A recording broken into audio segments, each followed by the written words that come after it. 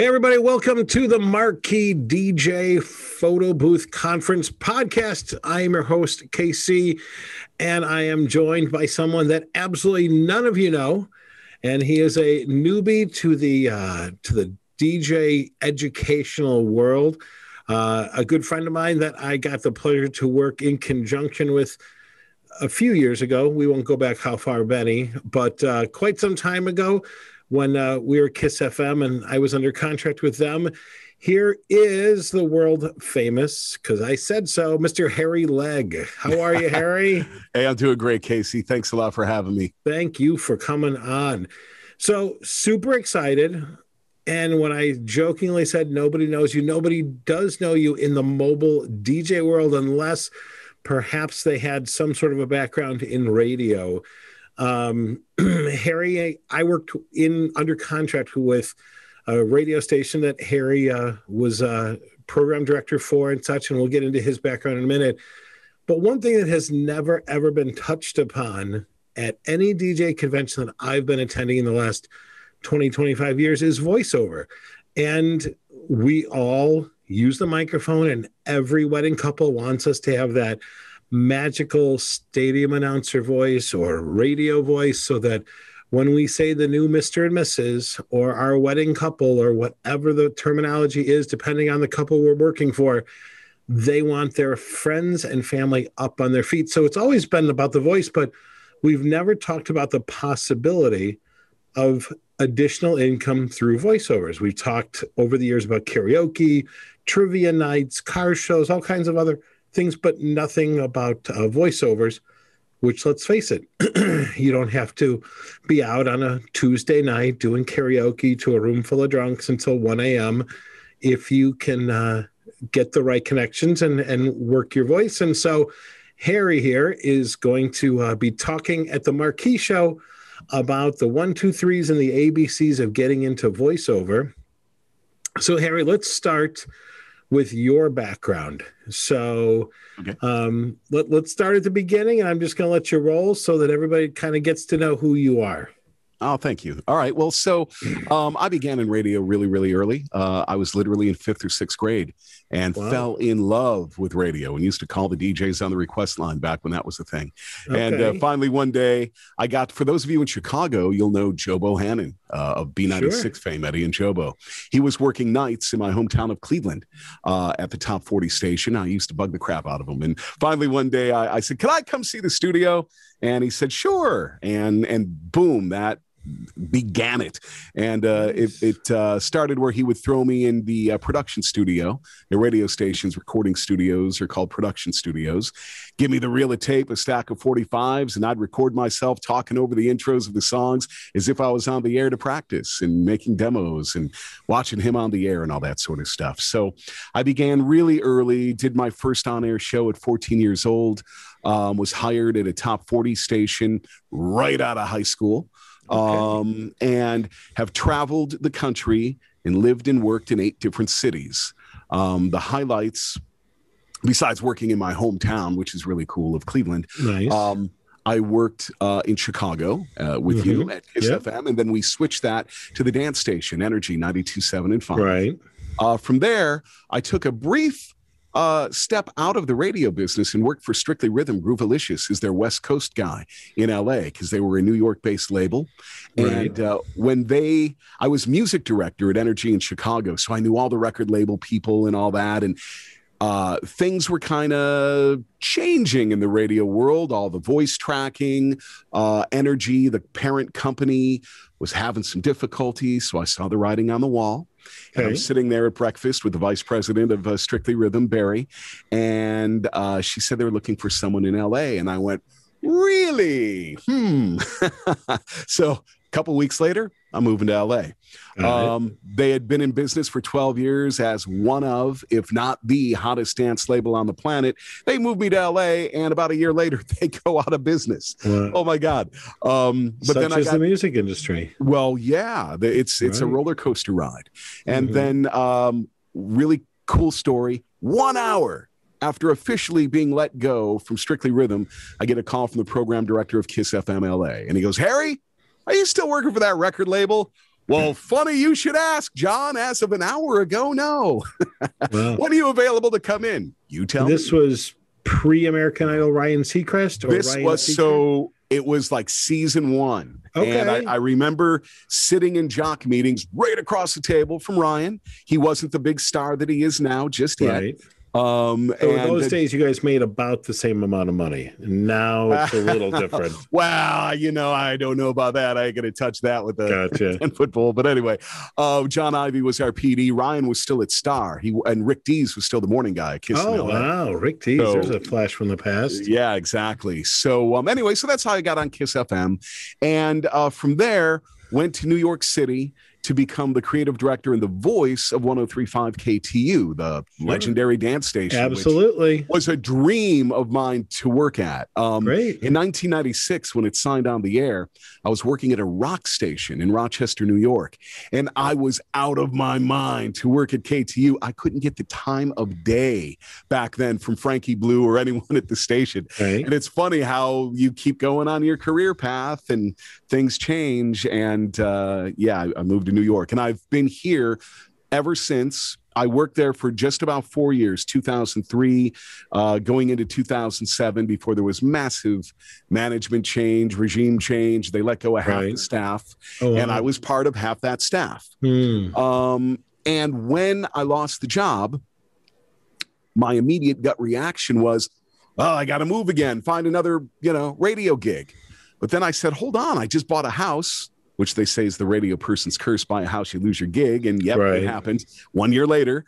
Um, plus, my partner had no, you know, if I had told, if I had said, hey, we're moving to Sacramento, not to make fun of Sacramento, but, you know, after being in Chicago, LA, New York, and a bunch of other cities, ah, I kind of, I was done. Right. Plus, you begin to see in the radio business that it's almost a never ending path. Each job I'd had lasted two, three, four years before there was some bullcrap, some management change, ownership change, format change. And yeah, you can get lucky and have a gig that lasts for decades, but really that's not the norm. And as right. you get older, um, you don't want to keep moving and you become less employable. You know, there's little ageism. They, they don't mm-hmm. want to hire the person with a ton of experience. Sometimes they want to hire the kid, no offense, because I was there, you know, that's going to work for half the price. Right. So I had already had a bunch of voiceover clients because I was working in radio and it's something I already did, but it wasn't my full time focus. It was always just really side money. And, and I'm a Pro Tools, you know, uh, producer and all that sort of thing. So studio gear and the setup I already had. I didn't have to rely on the radio station I was working for for a studio. So when I lost the gig at KTU, um, that's when I said, all right, voiceover full time and uh, now it's 2021 and i'm still doing it. It is good. a roller coaster when you work for yourself i will tell you that but it is uh, putting the roof over my head so. And what will be some of the things that we've heard you on without even realizing it that's kind of hard to say. I mean, I voiced uh, for, on commercial clients. I voiced for uh, Nike, Coca Cola, McDonald's, some of the big marquee brands. Um, one of the bigger things you may have heard me on, if you're into sports, uh, I was the voice of the NBC Sports Radio Network, which was on over 400 stations for about seven years, from the very beginning of the network until March of uh, 2020 when they decided to pull the plug as COVID was shutting down sports. Wow. So that went away. Um, and I'm the voice of a, a, number of stations around the nation and um, around the world. I actually have an international roster. Uh, oh, wow. I'm on in Australia and uh, uh, uh, Ireland and Jordan and the United Arab Emirates and all over the place. I'm trying to picture an American voice on like an Australian station how that would sound. I'll, I'll tell of, you. Okay. That, I get that question all the time. Got it. Um, and there's there's a couple things to think of with that. One is, you know how here in the states, sometimes a British voice sounds mm-hmm. kind of hip and cool. Right. So they'll purposely use a British voice for that edge. Right. Well, when you think about what what is one of our greatest exports here in the US, it's our entertainment, whether it's Hollywood sure. or our music. So you go to Australia and not that they don't have Australian artists, of course they mm-hmm. do, but the majority are still our artists. Right. They're playing Matchbox 20 and Justin Bieber in the Weeknd sure. and on and on and on. So to have an American accented English voice doing right. some of their imaging, I guess, thank, thank goodness for me, adds to some of the cool factor, I guess. You think like a nice hip Brooklyn female voice might work at that station? Or no idea. No. How you doing? The female version of that, yeah. exactly. Uh, very cool. So um, I've twisted your arm to uh, come on out to Chicago in June. Beautiful Can't Chicago, wait. and yeah. Lived here. He knows. So if you haven't been to Chicago, he will lie to you as well, like me, that it is amazing in the month of June. No, it really June, is. June is the time to go. City. Absolutely. yeah. Now, not so much, you know, right. in the winter, but uh, but the summer in Chicago is fantastic. And with the way the country's opening up, I'm pretty confident that you could even make it a little uh, side road trip and really enjoy the beautiful city of Chicago. I grew up here. I live in the city. Um, I can't speak highly enough about it. So um, as long as you don't get involved in the politics of it, you're you're totally yeah. fine.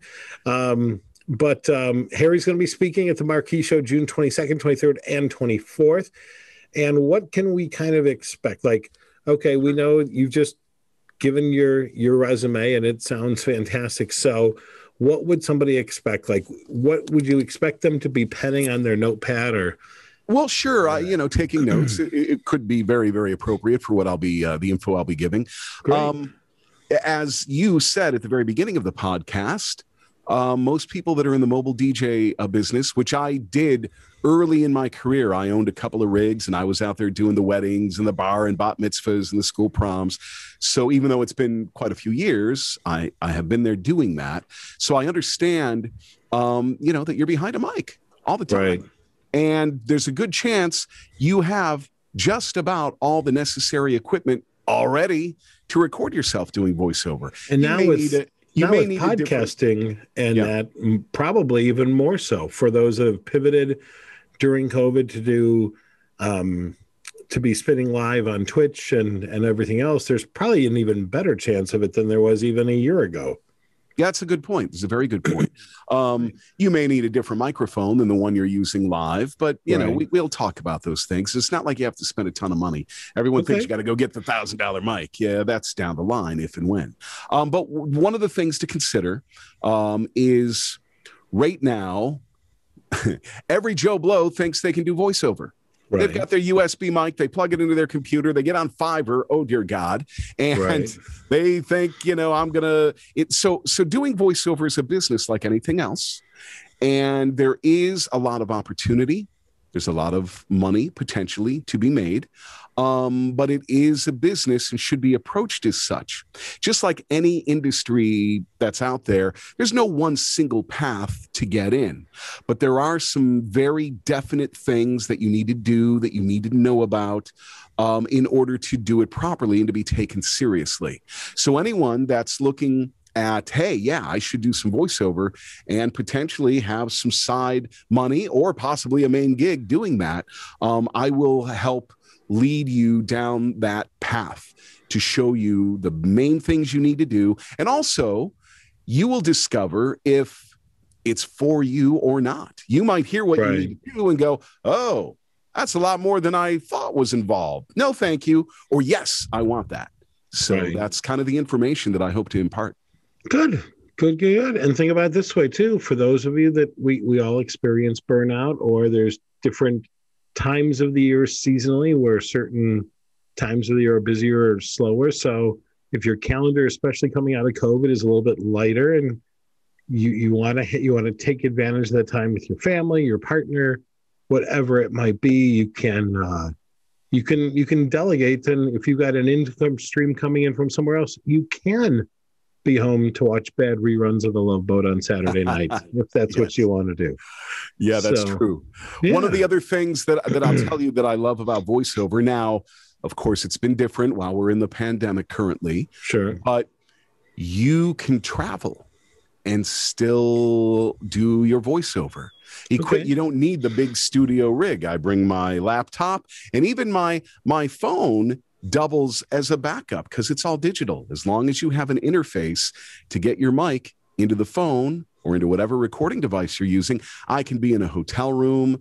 I could be, you know, visiting friends, a uh, parents. I could be on vacation if you are one that wants to work on vacation. Right. Um, and, and it's really not that big of a deal. So uh, that's one of the things that I love about it too. I'm not like golden handcuffed to my studio. I can Mhm. go off and do what I want. And that's one of the beauties of this. That's awesome. Yeah. That's awesome. So, what are kind of ranges that somebody would expect to make, like from the beginning? Like maybe they're just voicing over a local, I don't know, auto repair commercial for someone that the radio station's not doing, or what? Like, give ranges of what something might be. it is the wild, wild west Okay. as far as rates. Now, the, you know, the, and these are some of the things I will definitely go over and explain in more detail. But to give you an idea, um, when you are first beginning, you have to determine how much are you going to charge just to turn the light switch on and Okay. do anything behind the mic. And I can't tell you what that number should be. Maybe it's $50, maybe it's 150, maybe it's 300. I can't tell you what that number should be. There's union work and there's non-union work. One of the other things that you'll need to know and understand is it's also about usage. So I'll give you one example here. Let's say the local, um, I don't know, camera shop down the street here wants to hire me to voice a little 30 second thing for their website. Right. Now we know when it's on the web, it's worldwide, but um, you know, there's nobody across the country going to my local, you know, camera store's website. Sure. Sure. What I'm going to charge them for that 30 second read is radically different than if uh, Kodak or Fuji wants me to do a 30 second read on their website because that is worldwide or countrywide or whatever. So it's about usage. Scalable even, by even audience. though even though it's the exact same amount of work um, is the commercial that i'm voicing airing on local radio? Is it airing regionally? Is it airing nationally? Are they also using it on tv are they using it on cable? Are they using it on the internet? Are they using it internal for corporate stuff all of those things come into play. What you would charge to voice for the local Toyota dealer is not what I would charge to voice for Toyota nationwide. Sure. So even though it's 30 seconds, perhaps. So Right. it really is all over the place. And when you're beginning, um, you don't have to worry so much about that. You're gonna find out, figure it out. There's also rate guides, things like that. Um, and then you, you know, you're gonna look at um down the line if you have an agent that's helping to negotiate those things for you and whatnot, but you will not have that up front. Um, Okay. If ever, you don't have to have an agent to do well either. Um, There's a lot of people that do not, and they make a ton of money from non-union uh, versus union as well. So and, both sides of the coin I'm are sure good. there's lots of people on Fiverr making money too. So, you know, I mean, I'm not a proponent of that. I will officially say Okay. that, but yes, Okay. there are. There are. right? See, my big thing is in the DJ world. There's there's people that are a great fit for a backyard birthday party, and then there are people that are a great fit for a high end wedding, and you just have to figure it out and, and kind of go from there. So I think for Fiverr there are there's an audience that's appropriate for it, but maybe not for a commercial company like Coca Cola, obviously, or what have you. So One would hope. excuse me Yep. so so other things that we might be able to expect uh, from uh, from your seminar um, some talk about vocal direction. okay Um, you will need some coaching. I don't care who you are. Uh, Right. And the example I give Michael Jordan, greatest basketball player ever. Guess what? He had a coach. sure So every Tim- voiceover artist, as well every voiceover artist is going to need a coach. Now, um, here's being a radio guy. Here's one of the things that uh, I had to learn. I can't, first of all, I can't tell you how many of my radio friends over the years have reached out to me and said, Harry, I want to get into voiceover. And they think that the demos they have of the commercials they've made at the radio station they work at are appropriate to use. And you have to, I joke and call it, we got to have the come to Jesus meeting because no, they're not. When you are competing with someone that's, you know, reading that slick, smooth copy for Macy's or BMW, and you're reading, hey, show up at the cellular store and spin the prize wheel this weekend with Hot 105. Hey, You know, right. that's your, you know, or you're the classic rock DJ. And here's some Zeppelin, and it sounds like I'm baked right now. Yeah. You know, really, Okay. you can't use those. Or, or this is NPR, where we whisper practically. Or funny. you know, or you're the news guy. I'm on 1010 WINS and I do the news and I talk like this. Or you're the mobile DJ. And now, ladies and gentlemen, Mr. and Miss, and you you got that affectation to your voice. I'm sorry. It may be very appropriate for what you're doing or when you're on the radio. It is not appropriate for high quality agency voiceover reads. So you need to have coaching. I had to have radio bashed out of me. I can turn it on in a heartbeat. I always joke whenever I am, you know, officially teaching a class, um, and, and you know, people get a kick out of this. Like, and, and I and I say I'm I'm hardly exaggerating. Here's a radio break. Um, LA's number one hit music station, 102.7 Kiss FM. It's Harry Legg. We're doing 10 songs in a row. Coming up this hour, your chance to win tickets to see Lady Gaga live at the Staples Center. Right now, it's Matchbox 20 on Kiss. When you spend five hours a day, six, five or six days a week Right. talking like that, tell me you're going to be capable of doing a sophisticated, proper sounding conversational read. You're not. And you might think you are, but you're not. So, and it's the same thing for all the other formats that I went through.